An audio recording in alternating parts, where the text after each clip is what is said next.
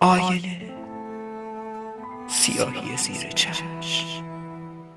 لایه قلیز از کرم پود. روشت را پر رنگتر بزن. موهای سیاه بیقرارت را باز بگذار.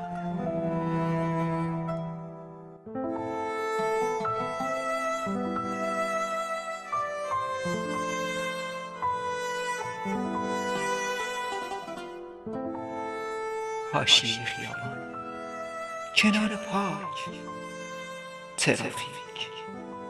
شیشه هایی که پایین می آیند و صفر هایی که توی ذهنت رژه می روند. طرف بزرگتر نامساوی را انتخاب کن. تاریکی. اتاق. تخت دو نفره. گرما. عرق. قشقش تخت. خماری. اجاره خانه. ساقی پاک. نعشقی قصابی سرگذر. و بوغ اشغال. تمام مسیرها از مغز به تن اشغال است. فرصتی برای لذت نیست. میهمانی ناخوانده صدور به صدور تنت را. یادگار کدام هماغوشی است نمیدانی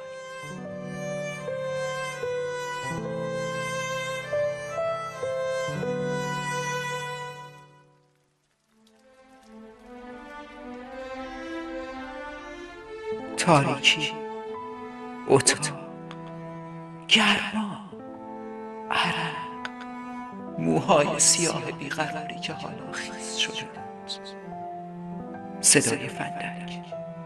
سرخی نوک سیگار لباست را بپوش. روبروی آینه.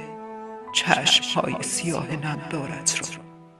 دوباره سیاه کن رژت را پر رنگ تر بزن. موهای سیاه بیقرارت را باز بگذار. کفشهایت را بپوش. خیابان هنوز منتظر است.